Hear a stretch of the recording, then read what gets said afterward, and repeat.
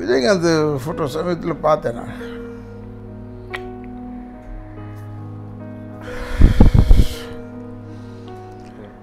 அதாவது கடவுளை கும்பிட்றவன் நான். இப்போ கூட பாருங்க இப்போ இப்படி வச்சுருக்கேன் எல்லாத்தையும் வச்சுருக்கேன். தைரியமாக இருப்பேன். அதாவது பெரியார் வழியில் வந்த எம்ஆராதாவுடைய மகன் இப்படி இருக்காரேன்னு அப்போல்லாம் எனக்கு என்ன பண்ணுவாங்க சபரிமலைக்கு போகும்போது? அதெல்லாம் வச்சு வருத்தப்படவே மாட்டேன். ஆனால் இப்போ எனக்கு என்ன வருத்தமாக இருக்குன்னா இப்படி ஒரு அன்னதானம் பண்ணவன் இப்படி ஒரு தர்மம் பண்ணவர் அவனுக்கு இந்த மாதிரி பொசிஷன் வரக்கூடாது. எனக்கு அடையாளமே தெரிலங்க ஏன்னா என் நண்பர் இந்த அனுப்பிச்சி ஃபோட்டோ அனுப்பிச்சி யார் தெரியுதான்னு கேட்டார். நான் அவருக்கு ஃபோன் பண்ணி தெரிலப்பான்னு சொன்னேன். நல்லா பாருங்க. நான் நல்லா தாங்க பார்த்தேன். நான் வேற ஒரு ஆளை நினச்சிட்டேங்க. தப்பு சொல்லக்கூடாது. நான் வேற ஒரு ஆளை நினச்சிட்டேன். அவர் பேரை சொல்ல விரும்பல.